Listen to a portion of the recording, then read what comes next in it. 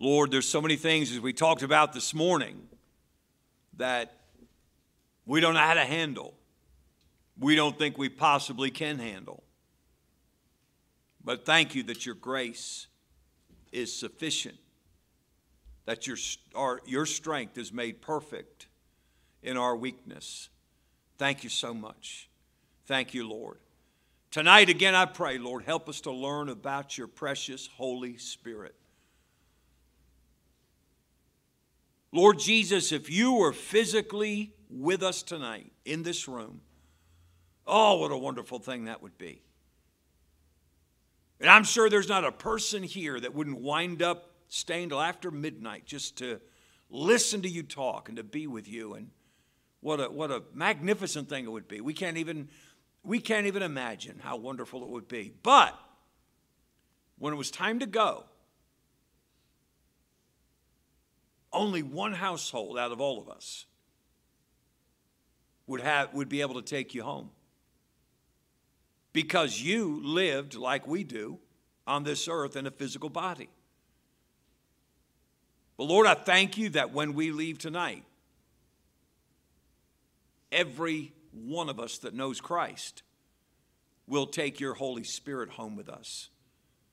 And we will have your Holy Spirit with us throughout the week to face every challenge,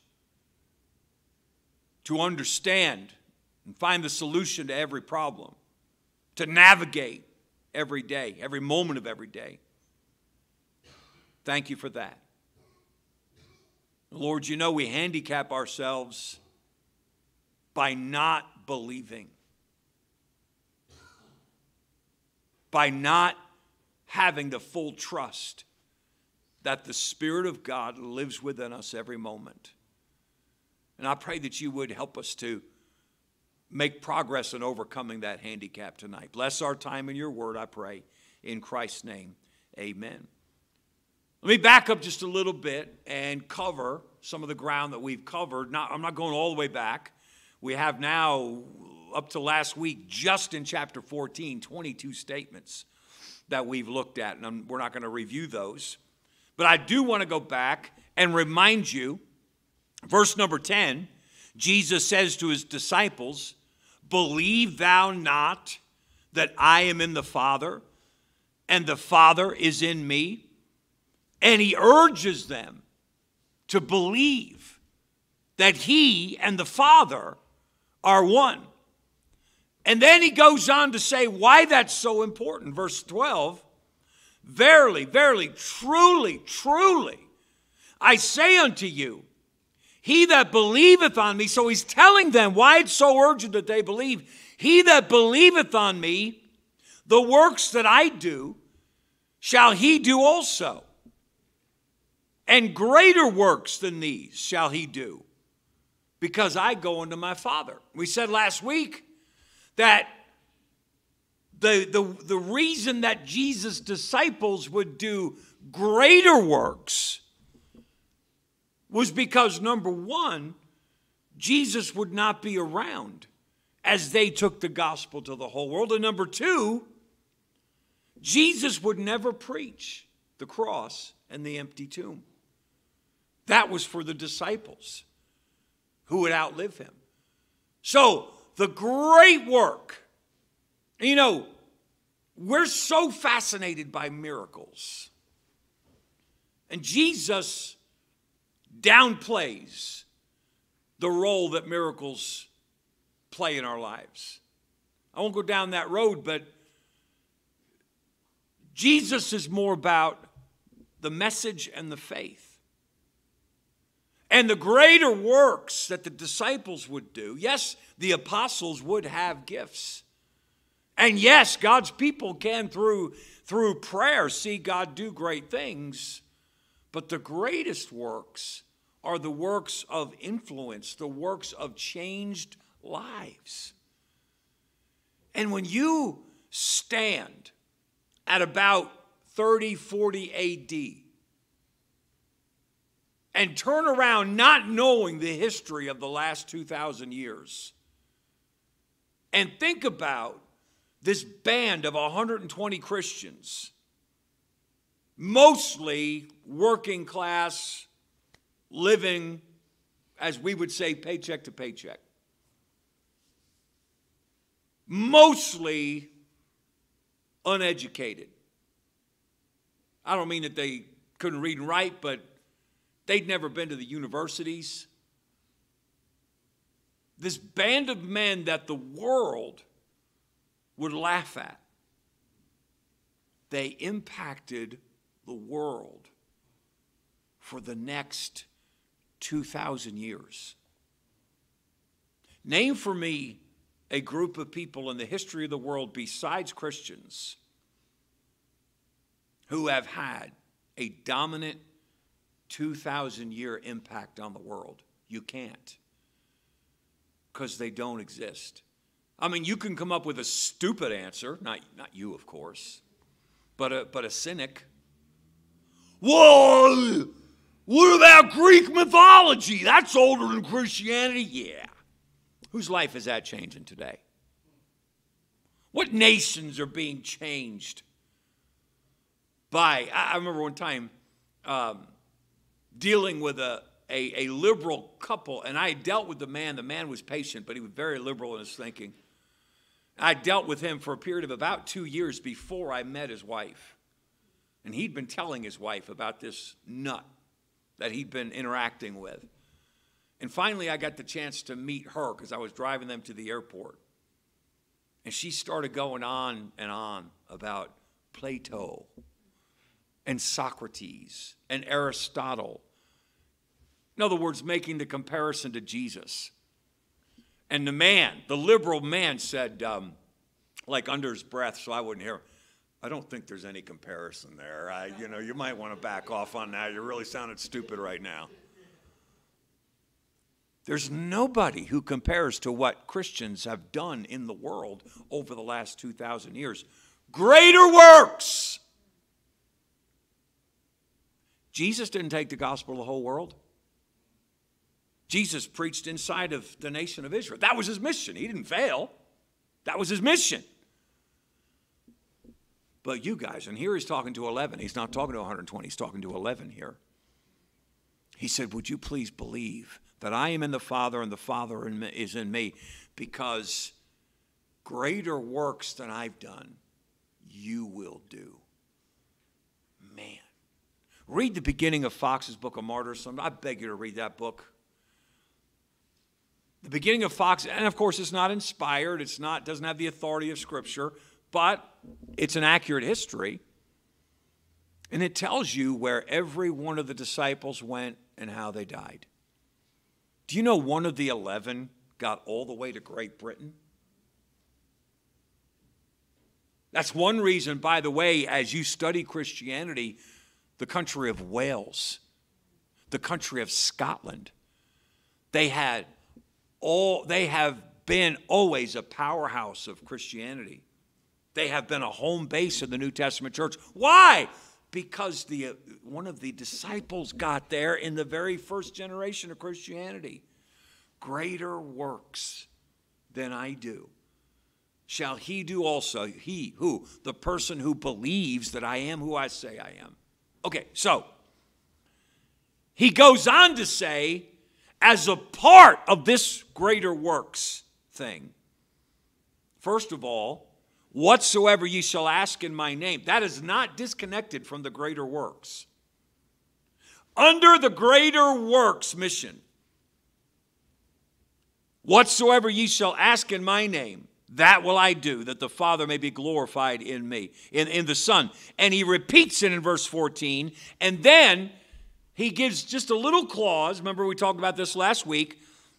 If you love me, keep my commandments. That is totally off the subject unless it's connected to ask anything in my name. So Jesus is saying, if you want to make a claim at asking anything in my name, well, you got to love me. And you show that you love me by keeping my commandments. And I we ended last week by going to John, First John, and seeing the Apostle John figured that out because when he quotes this in his epistle 60 years later, he says, If we ask anything according to his will. John understood that Jesus isn't just saying, use my name like a magic word. Uh, yeah, like a magic word. If you use my name, it's like spoofle dust or a magic wand or whatever. No, it's not what Jesus is saying.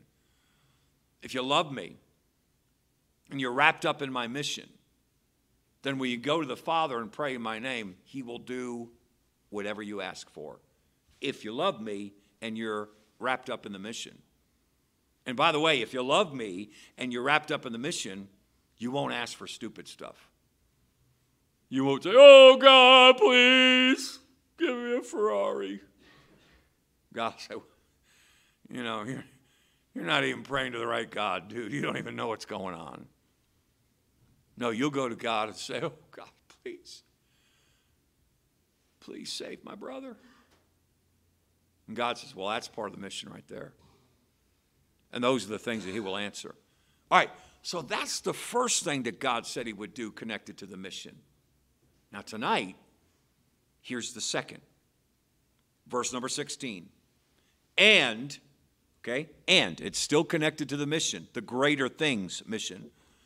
And I will pray the Father, and he shall give you another comforter, that he may abide with you forever. Now, we're just going to go verses 15, uh, 16 and 17 and I'm going to give you eight statements from these two verses tonight that I hope open your eyes a little bit. First statement tonight. Now, we have 22 already, so the first statement tonight is overall statement number 23. Not that you care or need to know, but I need to know, okay? So I'm from now on I'm not going to say first statement, I'm going to say number 23. Because when we're all done, I don't know how many we're going to have by the time we get to the end of chapter 16. Hope it's only in double digits, lest I run out of ink. But anyway, number 23. As a part of greater things, God the Father will give Jesus' disciples an advocate. Now, the word advocate means somebody who is legally in your corner. An advocate. God the Holy Spirit, to do the work that He, God the Son, had done for them. See, because here's another thing that Jesus is persuading his disciples I'm about to leave, but I'm not going to leave you alone. And that's why he says, another comforter. Now, it's hard because we're addicted to our eyes and our ears and our hands. We're addicted to seeing, hearing, touching, smelling, tasting. It's hard for us to comprehend that an unseen, unhearable, untouchable Holy Spirit, whatever that is, could take the place of a physical miracle worker who walked on water, raised the dead, but Jesus said, Would you please listen to me? I am going to send you another comforter. Another, not me. By the way, I don't get too crazy with the Greek, but this, here's one case where I think it's helpful to understand. In fact, I think this might be the first lesson I ever learned in Greek. I took Greek when I was in high school.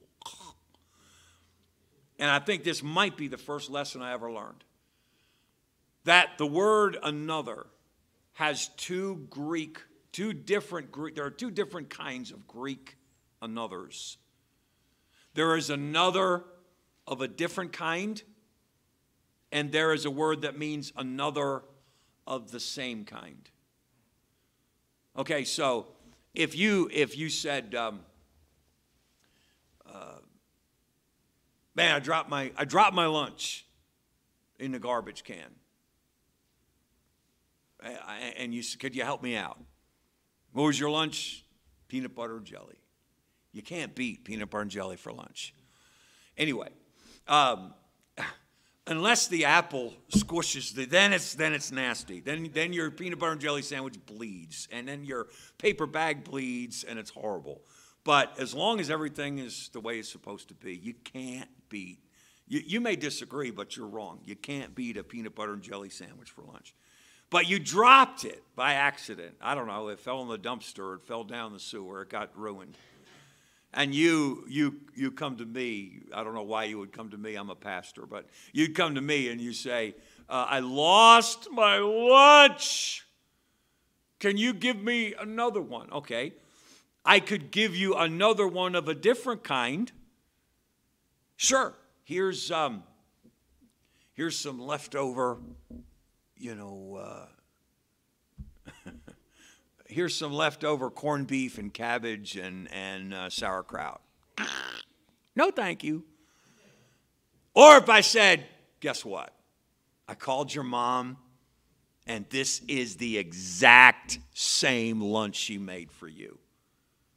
I mean, what? Think about it. I can tell you what the best, um, like I said, peanut butter and jelly, a banana that's just a little bit too ripe. Yeah, that, that was great in my in my lunch. And I always got a sandwich, always had fruit, and I always had dessert. And when I was a kid, my favorite dessert, I think, to have my, was to open up one of two things: either a snack pack pudding, or back in those days, ho hos or yodels were wrapped in aluminum foil. Yeah. And man, when you opened up the, if I had to choose between my apple squishing my peanut butter and jelly sandwich or squishing my yodel, you can squish the sandwich. I want my yodel whole, right? Anyway, a little in depth, too much in depth on that. Okay. So, but I called your mom and you asked for another lunch, and I made you exactly the same kind of peanut butter and jelly sandwich on exactly the same kind of bread, cut it exactly the way she did, gave you exactly the same kind of piece of fruit, and exactly the same dessert. That would be another of the same kind. So there's another of a different kind. Oh, I'm sorry, you lost your peanut butter and jelly sandwich, but here's some here's some leftover corned beef which to some of you sounds great, but you know, to an eight-year-old, nah, here's some leftover. Here's another one. No, that's another. That's a different one. Or there's another one of the same kind. The word here, another comforter, is another of the exact same kind. Meaning, the comforter that my father's going to send is not one bit different from me. Can I remind you? You have the Spirit of God living in you, and He is exactly the same as you live, as if you lived every day in person with Jesus.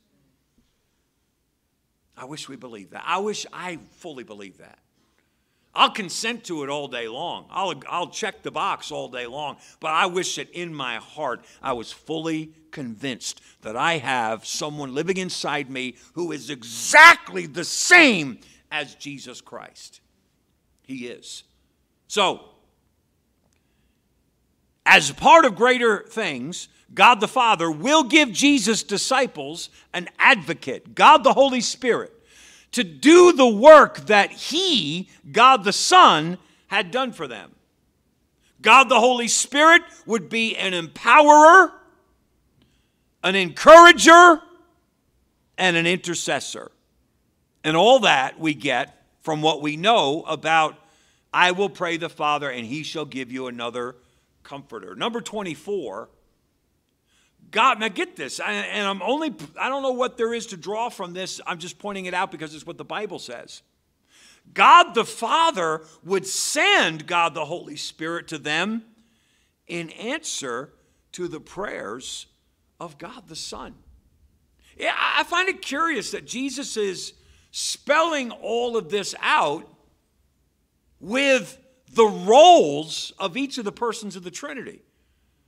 He didn't just say, let me tell you, boys, the whole dispensation is about to change. We're about to transition into the church age. And I will no longer be the primary agent of the Godhead on earth. The Father will not be the primary agent of the Godhead on earth as he was in the Old Testament. Starting at Pentecost, the whole this is the plan. This is the eternal plan. Starting at Pentecost, the Holy Spirit of God will be the eternal agent of the Godhead on the earth. He didn't say that. He said, I'm going away. But, but don't worry. I'm going to ask the Father to send you someone who is exactly like me, only he's not going to just be with you, he's going to be in you. And my Father will answer. It's just curious to me that Jesus said it that way. It's like he's going through all the details of this is how it's going to work. I'm going to go back to heaven, and I'm going to go to my Father, and I'm going to say, now they need somebody down there just like me. And he's going to say, okay, I will send the comforter, capital C, the comforter. And he's going to be what I have been. That's what's going on here. Number 25, God the Holy Spirit would stay with Jesus' disciples forever. The end of verse 16. That he may abide with you forever, as opposed to Jesus, I'm about to leave. Now you say, well, what about Jesus saying, I will never leave thee nor forsake thee in the person of the Holy Spirit? See, again, there's a distinction. Jesus is not here physically, but there's no difference. Jesus is here in the person of the Holy Spirit. Just like Jesus said to, was it Philip? Don't you get it? You've seen the Father, you've been looking at the Father. He says to us, Don't tell me you don't know Jesus Christ. He lives inside of you in the person of the Holy Spirit. That reminds me. Time for a dumb joke. You ready? Can you take it? I heard Paul Harvey tell this. I don't know if it's true or if it's just a cute little story he read in the Reader's Digest. But back, how many remember when Barney was like the biggest thing on the planet? Yeah, the big purple dinosaur, Barney. He ruled the world for about a year. And so it was during that era that I heard Paul Harvey say on the radio. He said, uh, he, she went, this little girl went to the doctor, and the doctor was giving her a physical. She was, you know, five years old, whatever. And uh, so he was trying to make her feel comfortable with the physical and everything. And he took the stethoscope and he he said, What's that I hear? She said, What? He said, Do I hear Barney in your heart? And she said, No, Jesus is in my heart. Barney's on my underpants. But anyway, uh, little, little PG 13 joke there from Pastor. God the Holy Spirit would stay with Jesus' disciples forever. Now get this, verse uh, number 26, verse 17 even the Spirit of truth. Even the Spirit of truth. Number 26, God the Holy Spirit is the agent of truth in this world, teaching and convincing people of what is true and distinguishing truth from error. That's what is meant by the title, The Spirit of Truth. Now, if you grew up in church, you have been around more truth than you have error. So you may not realize what a precious thing it is that you possess the truth and you're able to recognize the truth. I am so tempted, and I could still be pushed over the line, to pull out the testimony that I read to our students last Monday of the uh, woman on Twitter. I don't follow her, but somebody had retweeted. If you know how that works, and if, if they retweet, you see you see what somebody else wrote that you don't follow. And she said, in case there's somebody reading this who hasn't heard my story yet, let me give it to you. And she gives the most amazing story of how I'm going to do it. Okay? You pushed me over the line. You pushed me over the line. Uh, that's not my phone. That's my phone. Could you grab my phone for me? I'm going to do. You're you're going to be glad I did this. It's not that long, but this is an example of someone, thank you, who grew up in error and the spirit of truth turned on the light for her. I'm pretty sure I send it. Here's what I do. When I want to find something again, I send it to my own text. And I hope I did that with this. Uh, no, I didn't, but I can find it. Yes, I can find it in case you care, because I liked it. And when you like something, uh, oh, and she she liked back what I liked, which means it will be in my notifications. Please be in my notifications. There it is. This is her. This is the the woman's uh, Twitter handle. The feminist turned housewife. Isn't that great? Here it is. Okay, listen to this. This, this will take about two minutes, maybe three. Since there are many new people here, I thought I'd share the story of how I came to Christ once again. I grew up in a non believing home. My dad hated Christianity, and my mom was into all the New Age practices and beliefs. I had no respect for Christians. I remember in high school making fun of girlfriends and enjoying asking them difficult questions and watching them struggle to give an account for their faith. It's an awful thing to admit, but I thought Christians were silly and that only stupid people would ever believe and follow Christian beliefs. I thought myself superior in intellect and above these people. Like most atheists, I acted this way and was very much convinced I was on the right side of things. I went to college and things only got worse. I had struggled since early high school with depression and awful anxiety. I hated myself. I had no joy or peace. I was constantly looking for meaning and trying. Isn't it a heartbreak? People looking for meaning, but they look towards Christ and say, But I know it's not that. I was constantly looking for meaning and trying to fill the void I had in my heart. In college, I tried to do that with drugs, being promiscuous, feminism, liberalism, all these different ideologies that I hoped would give me some meaning in life only made me more and more miserable and only pushed me further away from Christ. This led me down the road of absolute hate for any traditional values. I was a fat, blue haired liberal that hated Republicans. Your liberal stereotype, that was me. Society kept telling me, these are the good values you should follow. We are the good people and the moral ones.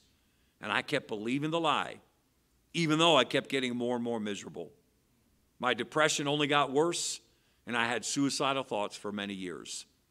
Things finally started to change when I met my now husband. He was an atheist, but he had conservative values. I remember thinking, this dude would be perfect if only he were a liberal. While dating him, he started to show me the truth behind all the lies that I had been force fed for years, all the way from public schools to the shows I watched on TV. My eyes started to open, and I started to wonder what else was, was, was I wrong about. We moved to Texas, and that is when our lives changed. I met for the first time ever a Christian man who was able to defend and argue for the faith. He had an answer to all of my questions. He was the first person to ever explain to me the gospel. I had never heard it. I knew Jesus had died on a cross, but I didn't know why. I didn't understand why. When this man finally told me, once I finally heard the gospel, I knew it was true. Man, you know what that is? That's the spirit of truth. Once I finally heard the gospel, I knew it was true. I knew Jesus had died for me, that he loved me, that life actually had a purpose, that I wasn't just a random chance occurrence of random atoms. I had been created by a perfect, holy God who wanted to know me, a God that came to find me. I remember driving home after, and I experienced true peace and true joy for the first time in my life. I had happiness in my heart I could never possibly explain. The black hole in my heart had been filled by the one thing it was created to carry Jesus Christ. My husband also got saved. We got married shortly after, found an amazing church, had babies, and continue to try to live the best way we can for Jesus. God still saves wicked sinners. If He can change the heart of someone like me and restore them, give them peace and joy, He can also save you. Please have courage to give someone the gospel, it really saves lives. The game changer in that story, first of all, someone who was willing to share the gospel. But the Spirit of God, the Spirit of truth, took the message and opened that girl's eyes. And now she's a Christian wife, Christian mom, loving the Lord, serving the Lord, living for the Lord. God, the Holy Spirit, is the agent of truth in this world, teaching and convincing people of what is true and distinguishing truth from error. The second part of 17b whom the world cannot receive because it seeth them not, neither knoweth him. Number 27, unbelievers, by their unbelief, have no interaction with, nor perception of, nor understanding of God the Holy Spirit. When a when a unbelieving person hears you talk about the fact that the Spirit of God lives within you, it's the stupidest thing they've ever heard. Why? Because they have no interaction with Him. Now get this, last part of verse 17. But ye know him.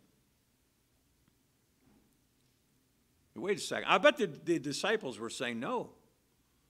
No, we don't. And maybe you're saying, I don't know if I do. Okay?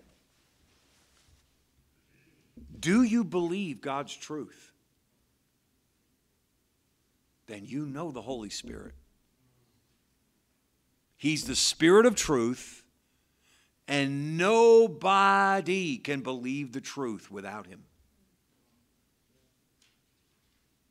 You know how I know God created the world? I don't, I don't know either. I just know. You know how I know the Bible is the Word of God? Oh, I mean, I could make arguments for creation. I could make arguments for the Bible as the Word of God, probably better arguments than most people could make because I've thought about it my entire life. But I don't know that this is the Word of God because of those arguments. I know it because I just know it, because the Spirit of truth has persuaded me. And if you know and believe the truth, then you know the Holy Spirit, because He's the only one that can convince you of the truth. Believers, as evidenced by their belief, know God the Holy Spirit. And then look at the last part of, no, actually, there's two more parts of uh, verse 17. For he dwelleth with you. Now, here's another place where he's talking to the disciples at the time, but it's all about to change. He dwelleth with you and shall be in you. The Spirit of God did not live in them prior to the cross and the empty tomb, but he lived with them. How? Through Jesus Christ. Don't forget, Jesus was indwelt by the Spirit of God at his baptism. Remember, the dove came down? And Jesus was filled with the Spirit the rest of his life. So they hung out. And then there came a time when Jesus sent them out that he temporarily gave them the power of the Holy Spirit. It wasn't permanent, but he temporarily gave them the power of the Spirit. So they had interacted with him whether they knew it or not. He dwelleth with them. So, number 29, all of the believers' interactions with God the Father and God the Son are through God the Holy Spirit. When you pray, Our Father which art in heaven, if God hears you, it's only so because of the Holy Spirit living within you. When you talk to Jesus Christ, say, Man, I just had wonderful fellowship with Jesus today. The only way that's possible is through the Spirit of God who, who dwells in you. So all the believers' interactions with God the Father and God the Son are through God the Holy Spirit. Without Him, your connection to God the Father and God the Son, not possible. He is your connection to God the Father and God the Son. Then, number 30, last statement He dwelleth in you, I'm sorry, with you, and shall be in you. God the Holy Spirit has lived within and does live within every believer in Jesus since Pentecost. No exceptions. Romans 8, Paul says, If you have not the Spirit of Christ, you are none of His. He said, If you're not dwelt by the Spirit, you're not saved. Which means the opposite side of that truth if you're saved, you're indwelt by the Spirit. This is the introduction to the Spirit of God. There's so much more that Jesus says in the rest of chapter 14, chapters 15 and 16. But I want us to take home with us tonight a renewed realization, a renewed awareness that we are indwelt by the Holy Spirit of God. He's not there to wag his finger at you and say, I caught you. That's, that's not it. He's there to encourage you, He's there to build you, He's there to help you to know God better. Yes, He corrects you. Thank God He does. Because the Bible says if God doesn't chasten you, you are not His child. So praise God that the Spirit of God chastens you. He's there to teach you the Bible. And if I'm not careful, I'll go off on a long list of things that the Spirit of God does in your life and how it affected me when I was 15 and 16 years old. But I beg you to get to know the Spirit of God who dwells inside of you. Let Him be real in your life, and you will never be the same again. I'm, con- I'm convinced these people that walk away from the faith and say, oh, was just phony. It was, I just, yeah, was, yeah. I am convinced that they never fall in love with Jesus Christ. Because if they had, they wouldn't walk away. And they never knew the Holy Spirit who lived inside of them. Because if they did, they would never walk away. I believe once you have real interactions with God, genuine interactions with God, you will never, ever walk away. Doesn't mean you won't sin, doesn't mean you won't fail, doesn't mean you won't have dark periods, maybe extended dark periods. But you will never walk away and shut the door and say, ah, it's, there's no God and all that. Uh, I'm sorry, you were not saved. You didn't know God. You didn't know God. Father, I pray that you help us tonight to know your precious Holy Spirit. Oh, Spirit of God, I want to know you better. I want to open up more areas of my mind and my heart. I want to take down the barricades that say, do not enter, so that you can flow freely in my life. Oh, dear God, please work in my life.